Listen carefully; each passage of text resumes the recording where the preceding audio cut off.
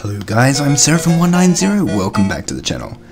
Today we'll be reviewing The Walking Dead Onslaught.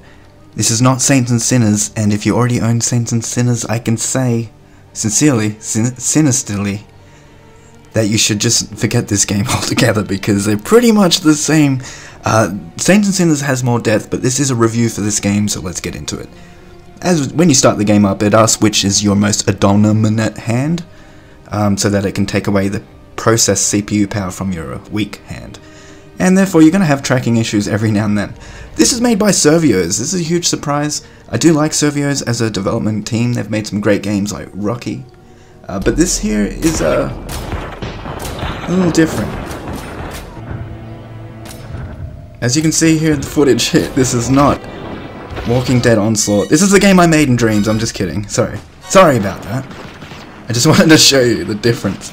I made this in like two or three days, okay? It's got full-on bullet time enemies, and they react to the bullets. And uh, yeah, you can definitely shoot them as well. Bullet time, check it out in Dreams. But anyway, this game was made in development for over a year, longer than what it was anticipated.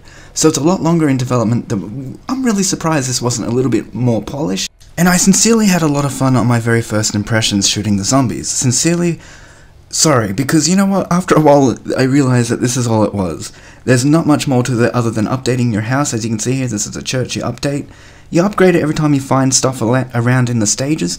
You, just find food and bullets and things, you pick them up as you go, shoot the zombies, come back, talk to her, she tells you where to go on the map, and you do it all over again.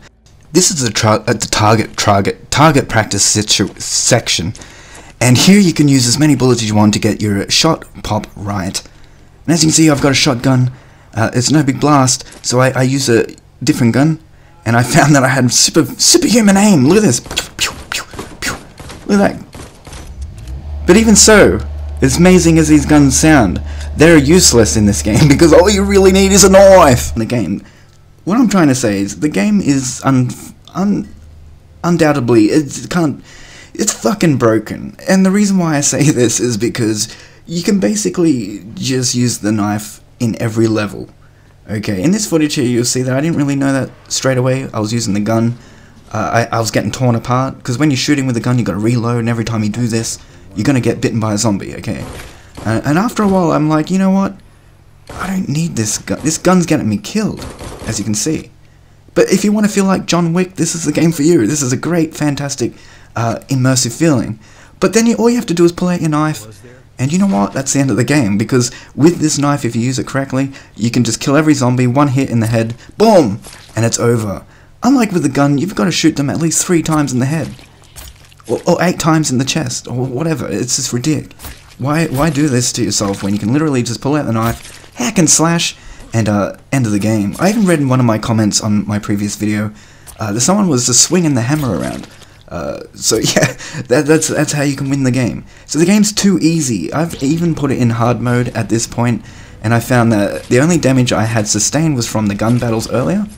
Uh, but basically, using the knife, if I wasn't, if I was a little bit more careful with the knife, you can pretty much do it without any damage whatsoever.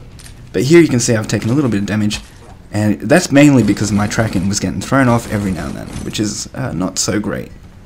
So yeah, the tracking for one of the arms uh, at all times is not as good as your dominant hand. And uh, but other than that, yeah, I had like a little bit of fun slashing, as you can imagine. Uh, but yeah, the decapitation system isn't as good as I hoped.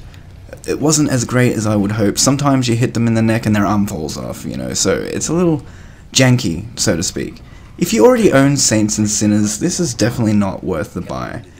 I don't recommend this uh, as much as I thought first playing this, because uh, I have a lot of games, and you know what, if you already have Resident Evil 7, literally this is not worth the money.